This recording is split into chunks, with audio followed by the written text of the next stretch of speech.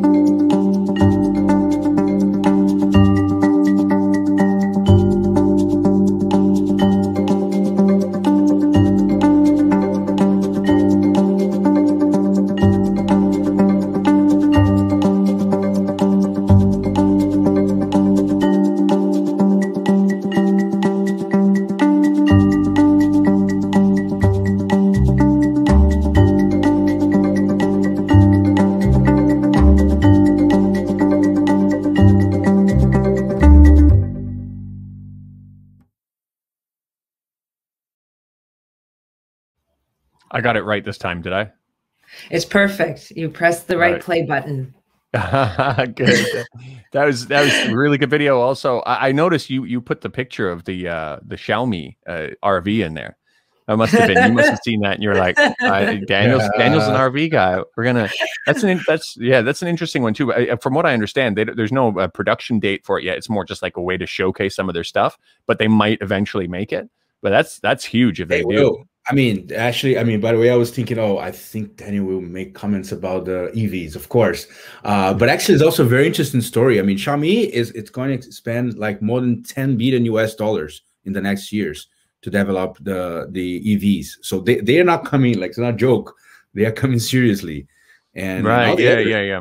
It's gonna be so. Like a, but the but the but the the function, the RV, uh, the the camper van that one, yeah. I'm not sure if that's. I don't. I don't know much about that. I don't know if it's going to be an electric vehicle, but I, when I saw that, it was like it, there's a positive and a negative. One that's positive: the infrastructure for uh, RVing is going to increase around China because if they do yeah. RVs, they're going to do it in a big way. But at, at the same time, there's like a kind of like uh, after a certain volume of RVs are on the road, and maybe not everybody might follow the etiquette. Like RVing etiquette is something you got to learn no matter where you are in the world okay, I'm, I'm worried about that. But uh, still, overall, it's going to be it's going to bring some more infrastructure because right now RV there's not many RV parks out there um, to yeah. go and camp out in, and the ones that are there they're really expensive. So it'll be interesting to see how it um, develops. But let, us let's, let's get onto topic on the onto the stories that you wanted to go into into uh, a little bit more depth. Sure thing. So first one, first story of the second video, uh, something we've been waiting for, following for some time, is that the government fines um, Alibaba Group $2.8 billion uh, for their monopolistic practices. It's so, a record fine. Record, record fine, fine, absolutely. I mean, that's a huge number.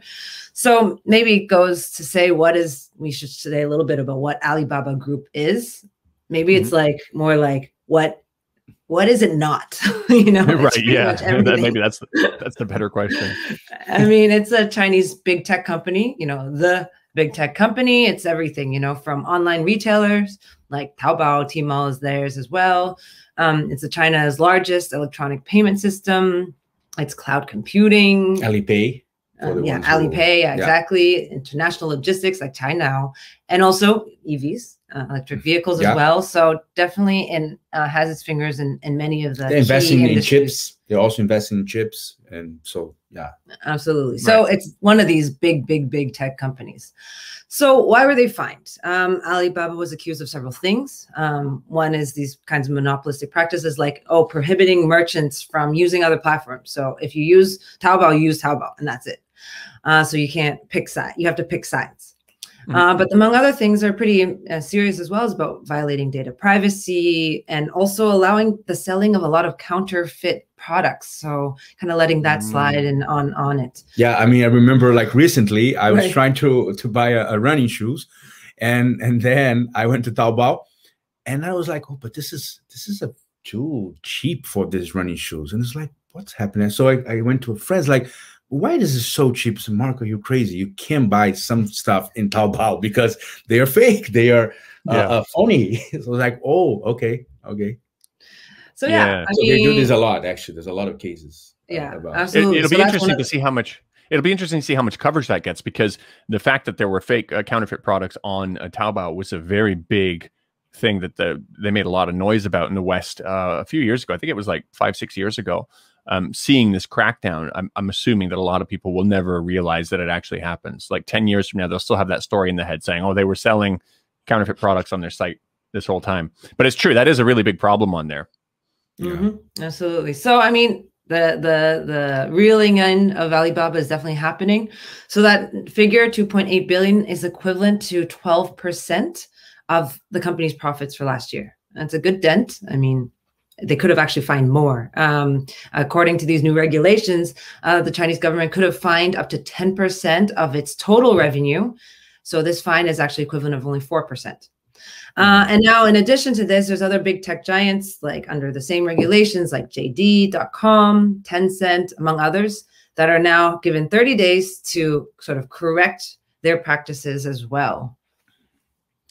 It'll So- be interesting Yeah. to see if, uh, i i you know, because one of the other things, I don't know if you, you, I mean, nobody lives in China without noticing this.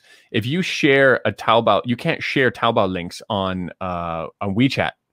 Like you can't, you know, you, you gotta, they, they've got a workaround where you, they've got to put like the wording of it and then you got to copy and paste it. But then they Yeah. started making that even more difficult. After a few days, the, the message will be collapsed. So when you copy it, you don't copy the whole thing. They make it really hard from you to go for you to go from WeChat to to uh, Alibaba. Exactly. So and, and the these- opposite. and the Yeah, yeah. opposite is true. You can you can buy you can buy this is the kind of things that uh, now i mean according to these new anti-monopoly laws that they've been pushing since last year this is the kind of things that they are not going to allow anymore. I mean i think i'm assuming will take a few months uh, until everything goes like into uh, like the new regulations but right now, I mean, they are all the other companies like like Ting said, I mean, uh, Tencent, but JD.com, which is also huge, Pinduoduo, uh, many of them, Meituan, all of them, they have now 30 days to rectify themselves and comply to uh, the, the Chinese law. So this is something, I mean, I'm assuming we are going to talk later in, in one month or something like that. Yeah, yeah, no, I think that's a pretty good. When they see that kind of a, a, a multi-billion-dollar fine come out, I think that's a pretty good way to get them moving pretty quickly. So we'll see how that um, Yeah. how that goes. Yeah, one one thing interesting to think uh, from like a broader perspective, a global perspective, is that China is actually uh, this is a very, I would say, bold uh, step they're doing. It's not easy to deal with big tech. They, I mean, they, they basically are running the world, ruling the world. Um, I mean, think about what is Google, Facebook, Amazon, etc. Uh, but what's interesting is that uh, you don't see this so far happening in, in, in the US. Actually, for instance, at, at last year in December, um, there was a lot of discussion. I mean, it's still going on discussions in European Union because they want to find some of the US big techs because I mean, I don't know if all of them, but many of them are registered actually in Ireland. I don't know if you saw Oh, this okay. because it is about all kinds of tricks with algorithms to, I mean, uh, to cheat or not, I mean, cheat people or to make more profits or to get data from people and to um, turn this into more profits. So so European Union wants to fine them like heavily, like billions in, in fines. And US, guess what? They were saying you guys are not going to do that with our companies because our companies are making a lot of money to European Union. So you should not fine them. Uh, so this is the kind of debates that it's not only China. This is a global debate right now. But it was interesting is that China is uh, uh, um, making uh, is um, what is it called? Sorry, uh, kind of leading the way. Exactly, you know? leading mm -hmm. the mm-hmm. way and and and giving like the first steps on on that. So so probably also China will set some sort of precedent. Yeah, precedent for that in in other countries. I mean, yeah, exactly. Yeah it's interesting to see. I mean, when they received this, um, when they received this this this news about the 2.8 billion, two things happened. Well, one thing is that the the stocks went up. Yeah, stock shares went up by six percent that day. Um, secondly, is that the company said, "Okay, we're not going to appeal. We sincerely accept the punishment." And I think it's actually funny because you remember a few months ago, you know, there was all this like, where did Jack Ma go, right? Because in October, Jack Ma, the, the owner of Alibaba, um, he he had some criticisms or some comments, you know, where he's, he was talking about the, the government wanting to manage the finance sector as like a pawn shop. Um, and then after that, he lay low for a few months, and there was the Western media loved to say, "Oh, you know, he's been disappeared, he's been jailed, who knows where he is." You know, he later, I think, about three months from November to January, and he reappears one day in January at a at a live event, recorded event, um, and he's seen as giving a speech to uh, rural teachers organized by his charity, uh, and also congratulating China's poverty alleviation efforts. You know, obviously the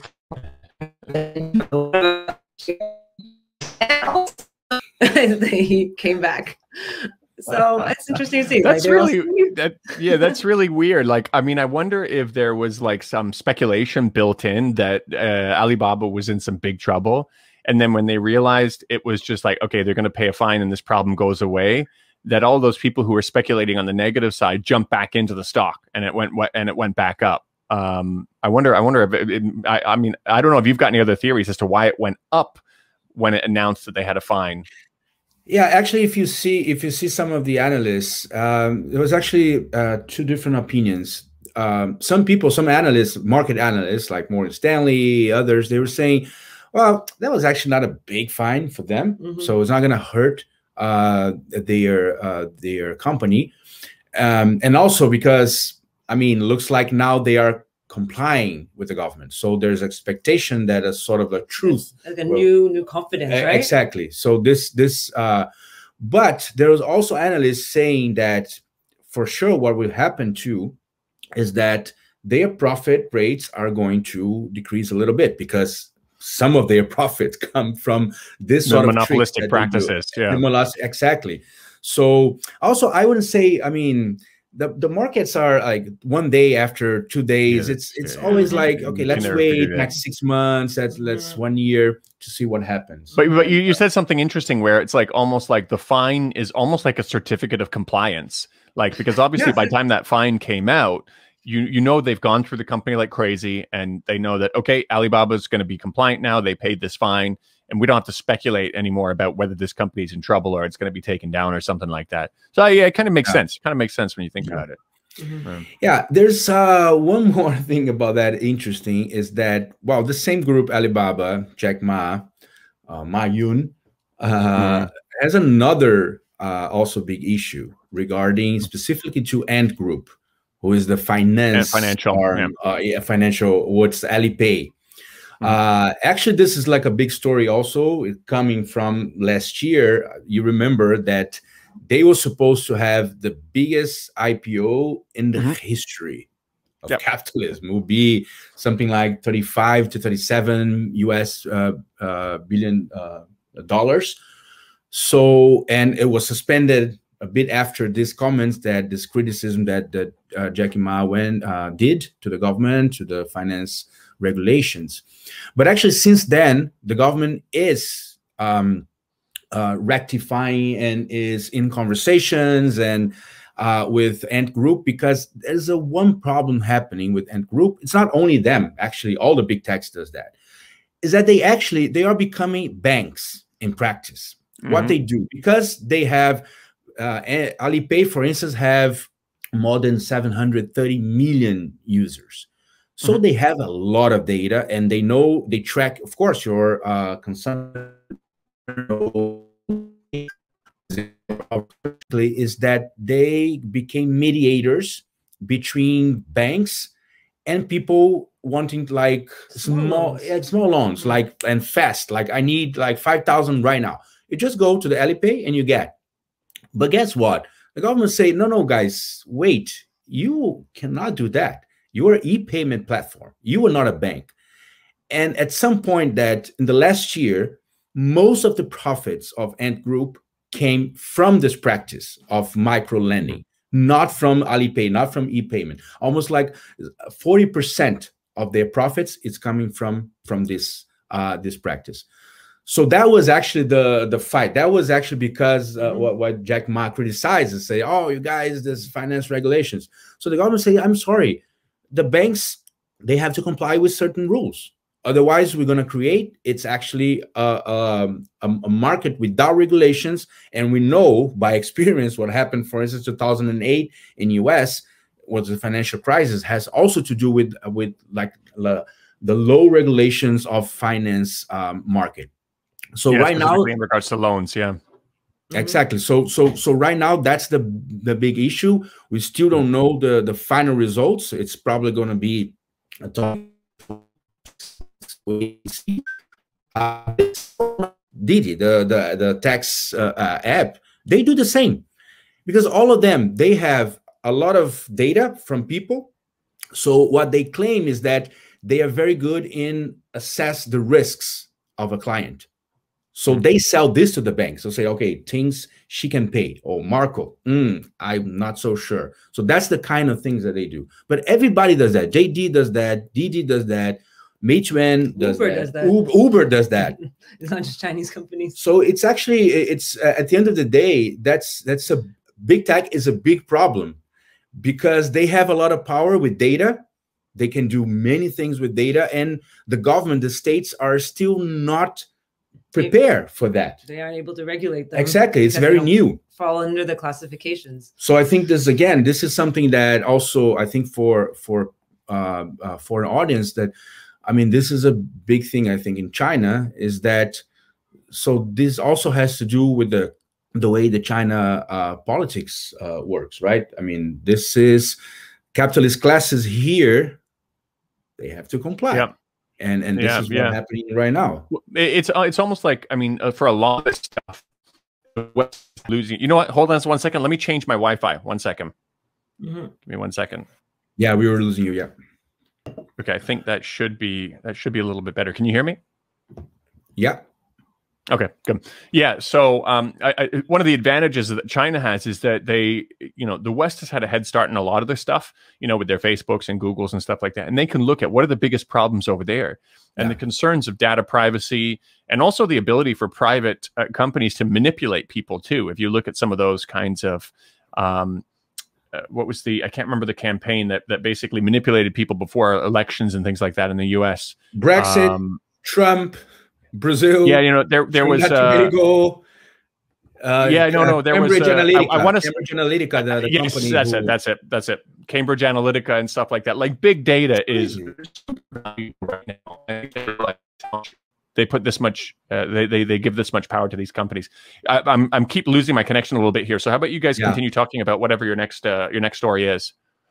Okay, sure thing. So, story number two um, is about China Middle East relations. So, at the end of March, Wang Yi, Foreign Minister Wang Yi, went to Middle East towards six countries uh, Saudi Arabia, Turkey, Iran, uh, UAE, Bahrain, and Oman.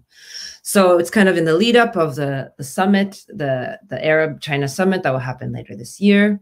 But one of the big things that came out of it is a really pretty historic deal that was struck between uh, China and Iran. What was it? It was a 25 year strategic cooperation deal. Um, mm-hmm.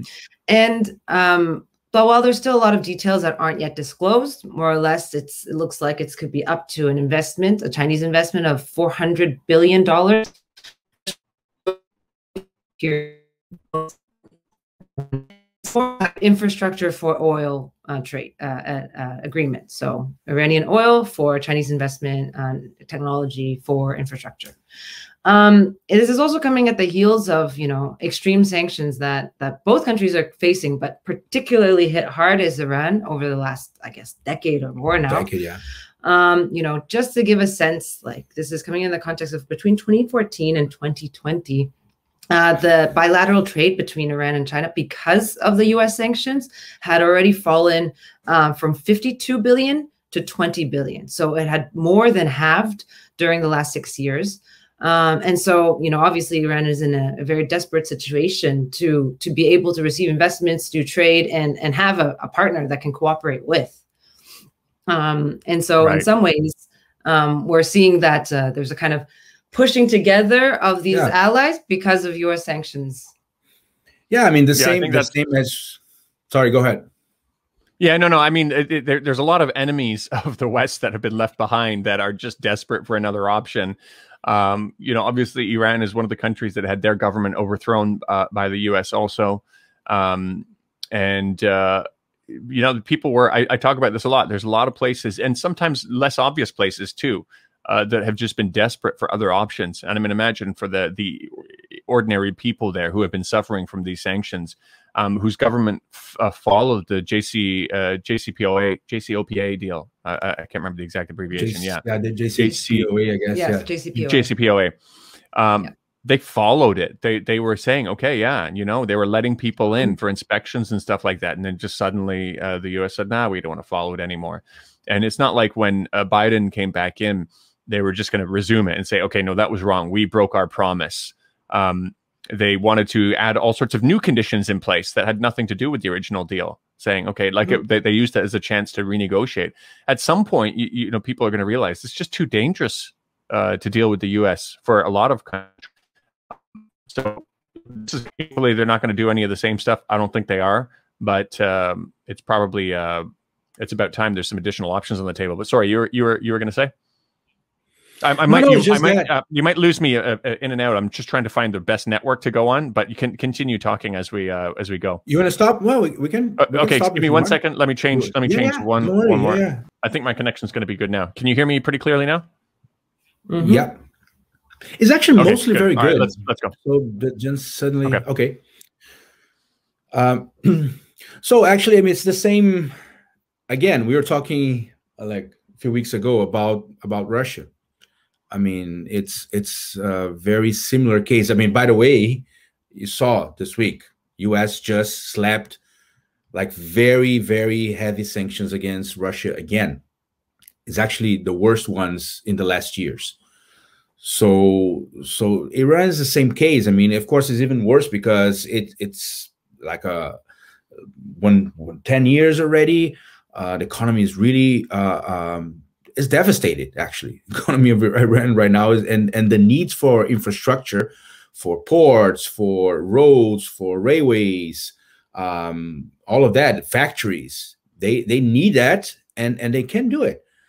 I mean imagine for instance like the the famous case of uh uh wang wang wangzhou the Meng, Wanzhou, Meng Wanzhou, Meng, Meng Wanzhou. Uh, yeah, it's it's. I mean, yeah. she's now arrested in Canada, and and U.S. wants to extradite her to the U.S. because of Iran. So that that's the level of of the of how much U.S. is hurting many countries like China, Russia, Iran. Thirty percent of the countries, as we said, has some sort of sanctions from from U.S. You, you, you imagine like uh, you honestly imagine how uh, scary it must be for some of these countries as well um, when they know that they are um, they're sorry can you can you hear me?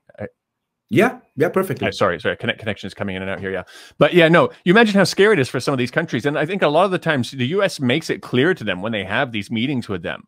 Like if you read anything about the people who are kind of like you know for example the economic hitman and stuff like that you realize how they go in and they try to send a clear message. Say you don't mess with us I, I, just shared on my last video, which I recorded this morning. I haven't uploaded it yet, uh, posted it yet. Um, I, I, played a clip of uh, John Mearsheimer talking to Australians, saying, "You know who you who, who you're." You heard up Can you, hear me? you said you uploaded something. Yeah. Okay. Oh, that was quite a while. Okay, sorry guys. Uh, hopefully my connection is sorting it out now. But okay, yeah, sorry. So I I was saying that in in in I uploaded a video this morning that I recorded. I haven't posted it yet, but uh, I, I, showed John Mearsheimer talking to an Australian audience about how they have two choices. They could go with the U.S. or they could go with China. But if you start trading too much with China, if you start getting too close to China, then you're our enemy, and we're going to get angry. And you don't want to get us get us angry. Angry. You uh, you, you, know, you, you, don't underestimate how nasty we can get. He says, just ask Fidel Castro. And, and it's like, like this is like, you know, yeah, yeah, yeah. and the audience, wow, the Australian audience was laughing. The Australian audience was laughing like, ha, ha, ha, ha. It's like, no, he's serious. it's like, these are serious, serious bullies. Uh, and it's so unfortunate. You would have thought that this would have put all of this stuff where it's like, oh crap, you know what? um, for some reason, we don't know why. It's it seems like it's easier for China to make friends around the world.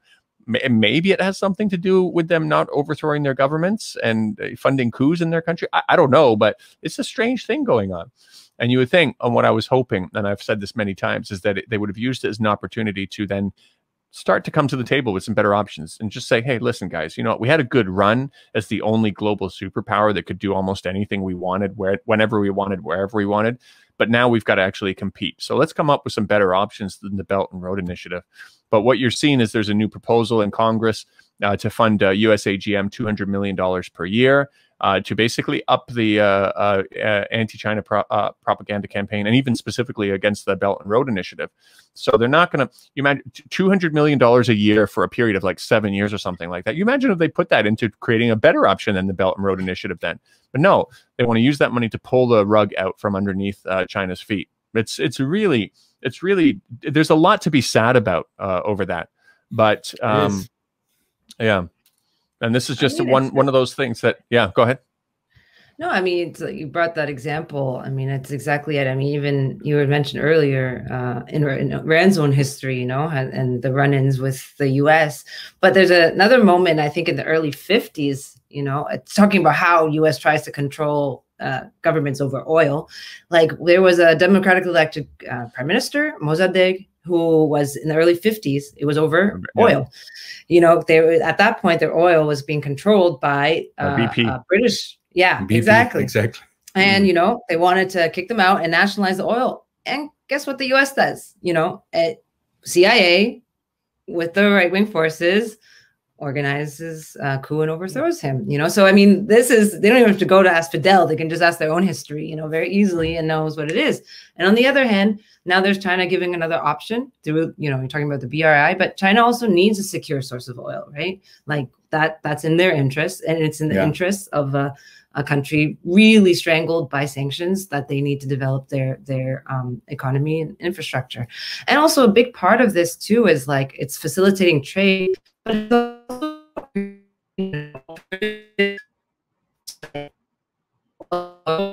we know that there are these strategic chokeholds that China is also afraid of, you know, whether it's like the Straits of Malacca or the Suez Canal, um, that the US can really take advantage of to cut off oil supplies to China. You know, we saw, I mean, it's unrelated to that, but but like, you know, you, the debacle with the Suez Canal being blocked for a few days, you know, that canal itself has million barrels of oil a day, 12% of global trade, and that blockage costs billions of billions dollars. Of dollars yeah. You know, that's so I'm just saying like Iran is totally strategic for China because they need to secure their their oil interest, but in terms that Iran wants to agree to. So there's two actually um, among many projects of the BRI that's around that, right? They're trying to create overland routes uh, mm-hmm. not just by sea because it's uh, you know it's uh, more more vulnerable. Is that so? Iran is strategic in connecting Central Asia, Turkey, Balkans, Eastern Europe with China. So, and there's also other pipelines that they're trying to develop in the Caspian Sea, connecting actually through through Kazakhstan to Xinjiang into China. So that that is a you know oil is a key uh, strategic you know. It's the same with Russia. Also, yeah, that's absolutely. why Russia is so important to them because right. they can they can bring oil, they can bring gas uh, through the the hinterland, the so-called the hinterland, and, and not the yeah. Not the so a, a, lot of the, a lot of the times when um, the U.S. is going in and controlling these oil supplies, like they are now in um, Syria, also with the uh, with the U.S. backed Kurd forces, which are controlling the oil and uh, supplying it to the U.S. A lot of the times, it's not about the U.S. getting the oil themselves. It's about being able to strangle off whatever economies they want to, just controlling the supply, being able to cut off a country when they want. Um, so, you know, through specific uh, uh, ocean routes and stuff like that, maybe it's a little bit easier to control. But when when China's all of a sudden going over land and they're opening up all of these pathways that are going to be harder to strangle off, you can start to understand why uh, the U.S. is panicking in terms of you know the guys in charge of the uh, uh, the imperial America kind of practices. Absolutely, exactly. So I mean, at the end of the day, uh, this visit from from uh, Wang Yi was was, was really important um, because actually what China has been doing uh, lately, also in Mid Middle East, is is to becoming a, a real protagonist and mediating all the, the even the tensions in the region. I mean, imagine that when we met one day the Iranians and the other day the Saudis. I mean, who else? I mean, there's not maybe, maybe the Russians can do that easily because also the Russians has this role. They they talk to everybody, everybody respect them because they follow the agreements. This is mm. something that uh, Lavrov is, is being said, the foreign minister of Russia said the problem of US is that they are incapable to sustain or to keep an agreement. Yeah. And uh, they, I mean, we, we do something here, we agree with something here. Like three months after that, they just break the rules. So this is true. what China. Yeah. Yeah. Yeah. Yeah. no, no. Like, eh, eh, you know, they always talk about a rules based world. They always use this world, a rules based world. What, what rules? The rules that you can change whenever you want. And it's, it's perfect when you have a two party system where you can keep shifting accountability from one side to the other. It's like, oh, well, no, that was Trump who broke the JCO, JCOPA deal, JCPOA deal. Um, and then when Biden comes in, well, no, they're not restoring it. They're saying, well, no, we're going to use this as an opportunity to renegotiate now, anyways, you know? And they get these little steps. When you go back and forth like a yo yo, the only advantage is that you have a way to shift blame, uh, basically. But yeah. Mm-hmm. yeah, you, you, know that uh, I mean, I was remember the uh, Putin. He said like uh, maybe a couple of years ago. He said, you know what, negotiate with the U.S. sometimes it's like playing chess with the pigeon you're but then suddenly they come into the the chessboard. They um, what is called? They overthrow the pieces. they pull in the chessboard, and they just turn it yeah, back, yeah, and yeah. They, they they go out. It's like how can you deal with these people? It's like playing chess with a pigeon. So this yeah. is what Putin said, and he knows a lot. It's 20 years dealing with the. Uh, with the when, when, you actually listen to some of his um, analysis of how the U.S. political system works, um, it's actually really interesting. Like, I mean, even when he was talking about Obama, he's like, you know, Obama's not a bad guy. You know, when Obama made the promise that he was going to close Guantanamo Bay, he he really believed it. He really thought that he was going to come in and and and and and do that. But then after he gets in, somebody sits him down. You know, he says some people in some suits come and sit him down and say, "All right, listen, this is this is how things work." yeah, you know, exactly. Yeah, exactly. Yeah. So at the end of the day, that's that's the, the, the bottom line is that China is is is more and more playing an important political role also in in the Middle East, and also because of of course of trade. For instance, right now, uh, Saudi Arabia is the biggest oil supplier of China. We mentioned that when we are talking about Russia because Russia is number two. Um, so the same with uh, Iraq, right? Mm-hmm, absolutely. I mean, it's interesting because Iraq kind of um, uh, experienced a huge surge in their exports to China because of some of these sanctions that were happening, um, especially against Venezuela and Iran. So it was able to export more to China. So it was number three last year and increased like something almost 20% uh, year on year for their exports to China. But, you know, it's, you know, now those exports are to China are a third or more than a third of Iraq's total exports is just oil to China. Yeah but again of course these are places that have oil. And you know we know how when asking the question well how does us get oil out of places? We were talking about iran. Well in iraq it's like bombing the hell. You know it's a uh, two wars uh what at least 600000 deaths. Um 200000 kids? Yeah you know and millions of people displaced. So you know i know you did yeah. a video recently where you're talking about syria i mean the devastation there and trump saying oh we're pulling out our troops but we're staying for the oil. we're protecting the oil, just the troops enough to keep the yeah. oil. I mean, it's that like so. So, I mean, you know, yeah. Yeah. Oh, no. Yeah. Yeah. No, for sure. For sure. You know, it, with Iraq, it's a good example too, because it's not only a matter of uh, the U.S. having terms, you know, with a friendly country, um, that's actually not doing anything wrong, and you they can he can suddenly change. And you know, Iraq is an example of supporting somebody who was brutal. I mean, Saddam Hussein was a brutal person, but he was buddy buddy with the U.S. He was, you know, they were friends. They were friends, and it really is like a mafia. When all of a sudden somebody from the inside, one of your own guys, you take him out once you're ready. You knew he was brutal all along. It has nothing to do with that, but. Um, I just really hope we see some change in regards to this. Um, and, and that's mm-hmm. what I I hope when we see this kind of uh, growth different ways of approaching international relationships that maybe there's a hope of that if um, if uh, if the if, if the US's campaigns don't work um, as they intend to just like I said pull the rug out from underneath their feet. I mean that's one of the things. I mean with China, like what Marco was saying about uh, playing a, a there's a possibility of it playing a bigger role or a kind of alternative to the way that US has really dominated this region, right? I mean, the multilateral approach it's also a way for these countries to be able to defend a little bit of the kind of onslaught that they've experienced of US interest in the region in many senses. So it's one possibility of strengthening that. But it's also another thing, like we're talking about exports. Like a lot of these countries don't just want to be an exporter of crude oil.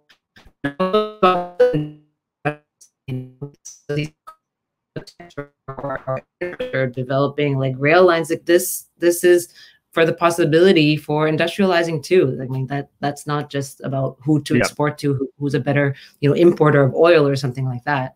So yeah, yeah, yeah. we look look to that and Absolutely. hope that there is a kind of alternative. You know, you know, it's it's really interesting. We we started this show out in the beginning where we did, didn't want to mention the U.S. at all. We were going to try to stay away from that, but you know what? It, it's really hard because this that's the biggest challenge that China's up against. You can't talk about China without talking about the U.S. because this is the force that really wants to undermine everything they do. Um, so it's really it's impossible to get away from it. But maybe we, I, I think we've got another story. Uh, you've got another story, maybe that's not U.S. related. I'm, I'm, sure we might slip back into talking about them. But what, what's the next story? Well, a little bit maybe. It's about vaccines. Of course, this is. Oh, now we, we got to talk right about now. the U.S. then with that one. There's no way to. There's no way to. You know they, they, they have they have what is it 20 million AstraZeneca uh, vaccines in the US which aren't being used they're not giving it to their own population Canada wants it they've ordered it and they're say, they're not releasing it to them and there was the thing on CTV they're like what's going on this doesn't even make any sense this could save millions of lives you're not even using it you haven't even approved it yet. It's almost going to expire you know? So we yeah. By, by, the way i don't know if you saw this but but uh, a couple days before biden announced uh, lula gave um, president ex-president lula from brazil he gave an interview to cnn and one of the things he said Biden, president biden please we know you have millions of vaccines that you're not using. Please send this to the poor countries send this to Africa and send this to Mexico. it's like a couple days before Biden announced, "Oh, yeah, I'm gonna send to Mexico and Canada." I mean, now that Canada is it's it's needing, right? Canada has like yeah, but they, they paid for it. Yeah, they they they pay they pay like they're a paying customer. They paid for it and they can't even get it. They're just like, no, we're gonna keep it here for now. Yeah, yeah. So, but but I mean, again, I mean, I'm sorry, that's facts. What's happening with China regarding that? So mm. basically, China exported so far half of its production.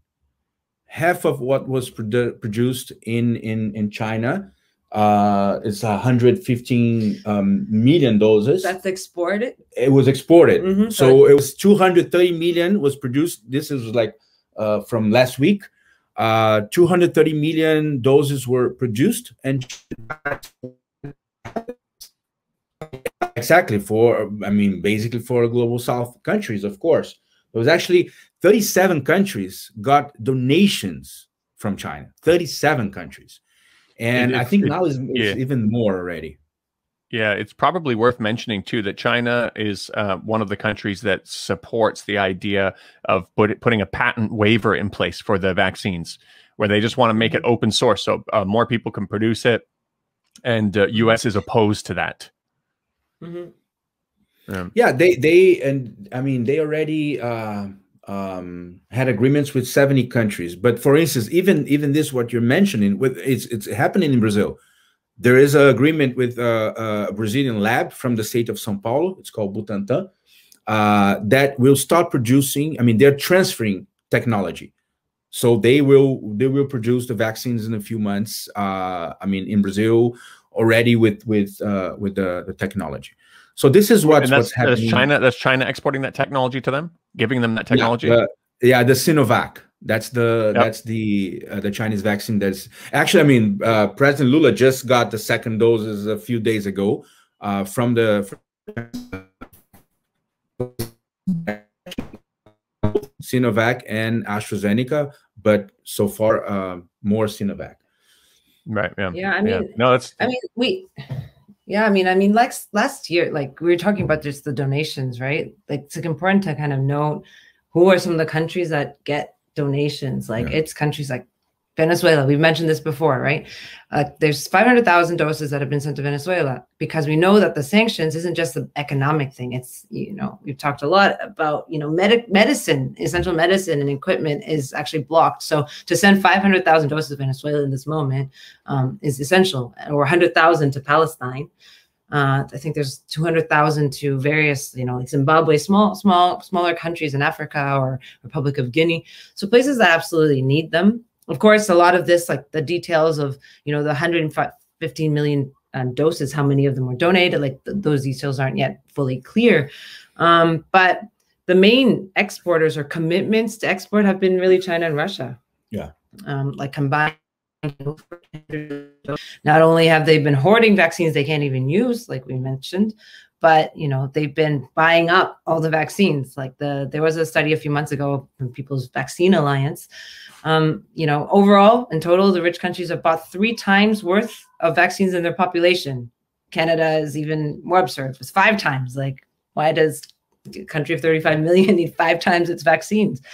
you know and then the places that are actually producing like uk and elsewhere like they haven't exported anything you know zero imagine uk they have their own vaccine astrazeneca uh, together with uh, sweden and they have exported zero i mean yeah. it's not a poor country uk is not a poor country that oh we can because we don't have resources come on I mean, Russia is doing a lot, is, is donating a lot. China is donating a lot. I mean, right now, Cuba, Cuba is already de developing more than one, actually. There's already two They are going to donate to many African countries, Latin American countries. Of course, they will also sell because they need, right. by the way, because also the sanctions of US in the like 60 yeah. years, economy is also uh, like not in a good shape, but but they are doing.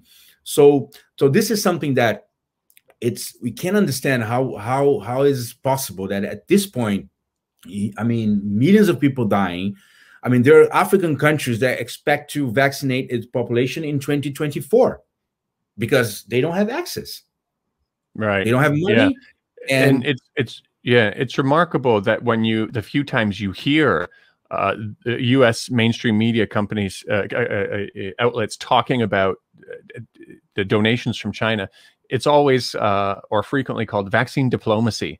Like it's like they're even trying to like slander the effort, saying it's like mm-hmm. I don't care what you want to call it. Maybe you should do some of it too. you know, it would, be amazing. Yeah. yeah, I mean, a group of diasporic Chinese people, and they put out just on this, you know, kind of like inversing this, you know, vaccine diplomacy to vaccine internationalism, you know. So a lot of this stuff right. actually is in there, and you can actually see the yeah, information. For, for the ones who doesn't know how do you spell Qiao? Uh, Q I A O. It means like I guess bridge. Yeah. Mm, they just yeah, yeah, yeah, They, they have very good stuff actually about China. I mean, we strongly recommend that you guys also follow their, their things Twitter sure. and, and website and very good. Uh, but I mean, for instance, just one example about countries who are, are getting uh, vaccine uh, donations of vaccines uh, uh, from from China, uh, Zimbabwe, Guinea, Guy, what do you say, Guinea? Mm -hmm. They got two hundred thousand vaccines. Yeah, like some of the ones I named as well. You know, Palestine, Venezuela, yeah. many many countries. Seychelles vaccinating population, yeah. which is an island country in Africa. Yeah. Yeah. Yeah, no, it's it's it's it's amazing to see the effort. Um, yeah, my apologies. I keep cutting in and out, so hopefully the connection's been okay. But um, I think that was your that was your last story, right? Was about the vaccine. Yeah, I just want just uh, in like a more personal note. I just sure, yeah. wanted to say that I mean I'm getting first jab on of, of uh, vaccine on Monday in China. Nice. Being a foreigner, nice. being a foreigner, and, and I mean this is this is a big deal. I mean I mean, there's so many people in my country right now, they just don't have access to situation. The government, we know, didn't take any precautions, any measures. And plus, we don't have access, enough access to vaccine. So being here as a Brazilian in China right now and have access to vaccine, it's it's like, uh, I mean, should be very grateful for that. So yeah, no, that's amazing. I I was looking at uh, we we can get it in Shenzhen now. Also, I have a, a foreign friend, an Australian friend, who got his uh, two days ago. Uh, I'm going to be traveling soon, and I'm going to be traveling to places where I'll be meeting up with people where we're going to be drinking. And it says if you uh, do the the the, the vaccine, yeah. you can't drink for a week or something like that. And I was like, oh, I got I got to schedule don't, it between. Uh, don't remind drinking. me of that. Don't remind me of that. I mean, I think maybe just to leave it on this note. I mean, at the poor note of not drinking, but I mean, it's a big question, right? Like, it's actually like a global question. How do you vaccinate a, a world of like nearly eight billion people? Yeah. Um, and and and one of the things that because we're both researchers with Tricontinental, a short short a publication just got launched called the People's Vaccine, like trying to think about what would be a people's vaccine what would it look like? Because it's various aspects not just the vaccine. How do you get it to the people? It's like okay it right. actually talks about you need robust public health systems. You need to actually defend and build up you know public health systems that have been really cut back in most countries like by neoliberal policies and, and you know decades of this stuff like we're seeing them being tested in the last period of the covid of covid virus but then there's also other things like how do you get vaccines from place A to place place B? Yeah. Like we've covered some stories about, you know, all these like cold chains, uh, you know, how to get like the the airplane routes that I can can can actually um uh, you know transport vaccines at the temperature needed to it survives. So there's been huge chain in Ethiopia to supply Africa and also um, in Europe and other Middle Eastern um, region but also like how do you monitor it afterwards like all this stuff we're talking about like um, like the vaccine passport mm-hmm. or these monitoring systems that have been built here like are absolutely essential to share with other place regions so that they yep. can they can figure out how the tracking can work afterwards because and, and maybe your viewers would be interested in that too. This is called the people's vaccine and kind of a call for thinking about um, a more i guess like a more just way of of of like thinking about health in this moment. It's absolutely critical. Vaccines is the most essential so is that is that something you have a, a link to where there's a, an article or a discussion about that? You have a link that okay we'll put we'll put that in the description and um, i agree that's, that's perfect a, yeah, that's, that's a pretty good uh, note to leave uh, leave on. Um, I, am gonna I'm gonna be traveling a bit, so maybe our next episode will be uh, on the road, um, or I'll be in, in, Shanghai for a couple of days too. So maybe we'll we'll meet up when I'm uh, up there. So absolutely, let's yeah. do it. but, but, when I'm up when I'm up there, you can't you can't drink, can you? Yeah, you're not. Yeah, we. Oh no! Yeah. Okay, you're gonna have to you're gonna have to resolve this offline. Vaccine or? oh my god! All right. Well, let's leave it on that note. We'll, yeah, we'll we'll figure it out after this. But yeah, thanks again. Uh, thanks everybody for joining, and uh, we will catch you in the next episode. Thank you. Yeah. Bye. Bye. Bye. Thank you. Bye.